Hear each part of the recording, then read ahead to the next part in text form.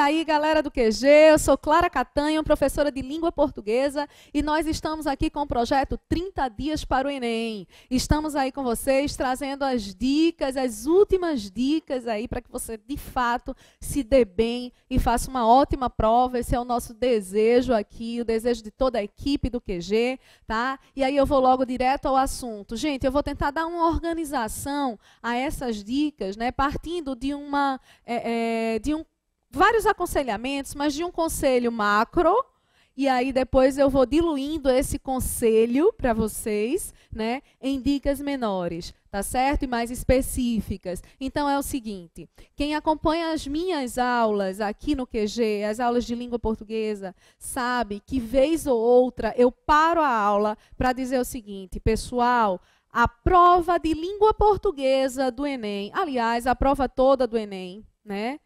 Toda a prova do Enem é uma prova de leitura. Eu vejo muito estudante reclamar da prova de matemática e dizer o seguinte: caramba, professora, a gente passa é, um tempão lendo o enunciado de matemática, né? Então, há toda uma contextualização e tal para uma conta simplérrima, né?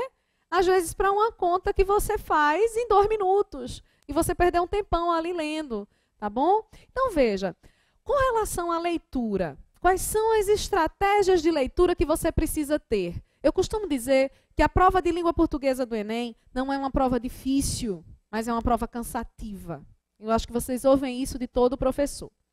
Como ela é uma prova cansativa, eu tenho certeza que você vai chegar a um ponto, né? Vai chegar um momento ali, no momento da prova, você está ali lendo e fazendo a sua prova, você vai chegar a um momento de estafa, de cansaço, né? E aí a tua mente vai se distrair.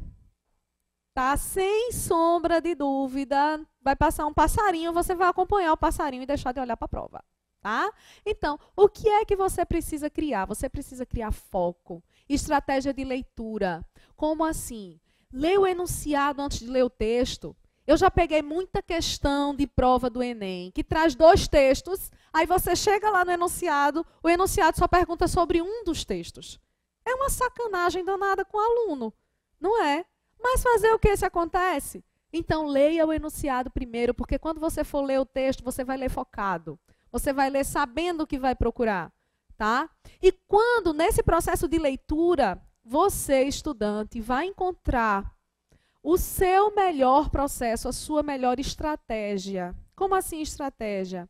Algo que você faça para não se perder naquela leitura. É o grifo que te ajuda? É o resumo por parágrafos? É o anotar do lado alguma coisa, algo resumitivo do que você está lendo? É um texto que mistura o verbal e o não verbal e que quando você olha para aquele texto, no seu processo de leitura, você já circula, você marca, você interage.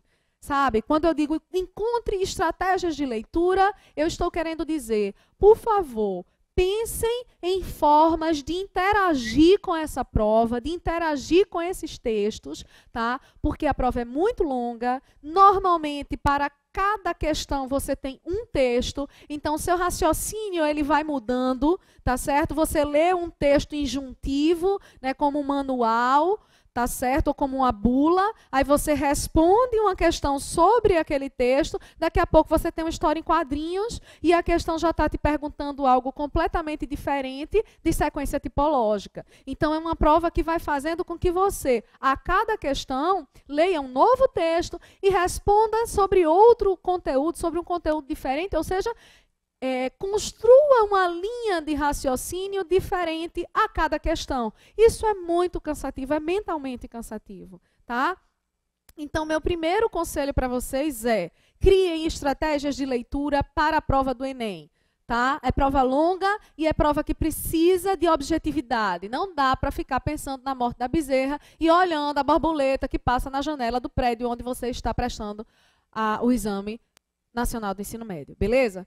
Então, aí agora eu quero falar para vocês com relação aos conteúdos. Bom, antes de conteúdos, temas. Que temas são extremamente recorrentes no Enem? Tá certo? Hipertexto. Falei foi muito sobre isso durante as minhas aulas aqui. Tem que saber o que é hipertexto, história da comunicação humana, a internet e a cybercultura. Tá? O que é que a internet nos traz? Como é essa leitura na internet? cheia de links e que você vai clicando e, indo para outro texto e para outro e para outro e no final o caminho que você trilhou é um caminho muito mais independente do que a leitura de um leitor de livro impresso, né? Então, como é que é essa escrita no hipertexto, a escrita na internet, que aí a gente entra com oralidade escrita, esse teu bate-papo ali no inbox do Face, né, que é online, o que é aquilo? A ação é de escrever, mas é uma escrita muito parecida com a fala. Então, essa, é, esse, esse, essa mistura né, entre oralidade, escrita, internetez, e aí, e aí tudo isso entra como temática. Outro tema que sempre está no Enem, na prova de língua portuguesa, na prova de geografia, história, matemática, física, enfim, é o que a gente chama de tema transversal, é o meio ambiente. Sempre tem meio ambiente na história, tá? Então, como professora isso cai? Normalmente uma campanhazinha, né, uma propaganda de campanha de conscientização. E aí um questionamento para você pensar sobre as estratégias argumentativas. Aí eu já vou entrando em conteúdos, não é? Porque veja, o que é que cai no ENEM? Muito mesmo, muito, que você tem que estudar.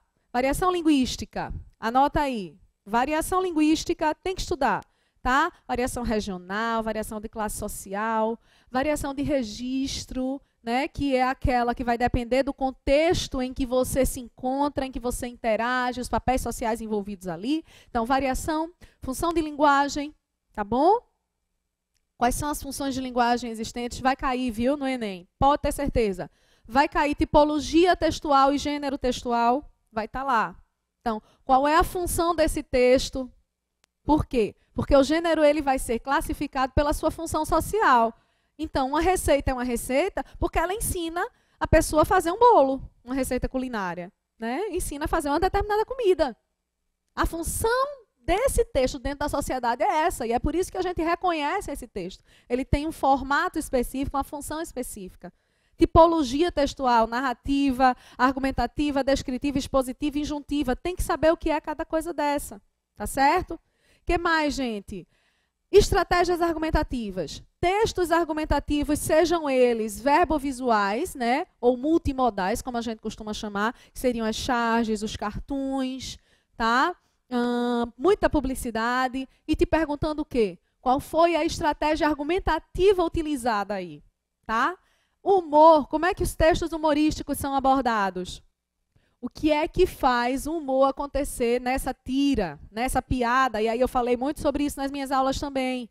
Não é? Com relação ao humor, nós temos o final inesperado. Muitas vezes, esse final inesperado, você tem uma narrativa, seja numa piada, numa tirinha, né? nos gêneros humorísticos de uma forma geral, você tem uma narrativa que vai te conduzindo para uma determinada conclusão. O que é que cria o humor? A quebra dessa expectativa. Né? Então, lá no final do texto, vamos dizer que você está numa tirinha, que é o mais comum que aconteça no Enem. Então, você tem uma tirinha com três quadros. Quadro 1 um e quadro 2 te conduzem a determinada conclusão. Mas o quadro 3 quebra a tua expectativa, é o que te faz rir. Tá certo? E a, o Enem pergunta muito sobre isso. Qual é a estratégia de humor? Por que é que esse texto é engraçado? O que foi que gerou esse humor? E gramática, galera. Como é que a, como é que a gramática aparece no Enem?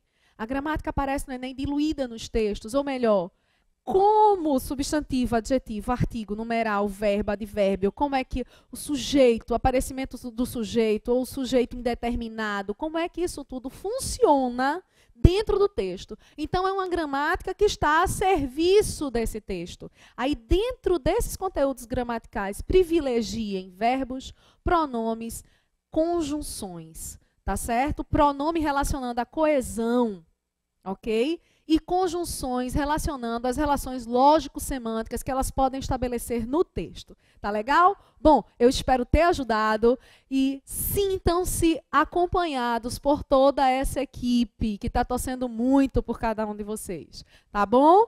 Boa prova, muita calma e foco nessa leitura, estratégia de leitura para poder fazer um Enem, ó, nota 10. Beleza, gente? Até a próxima.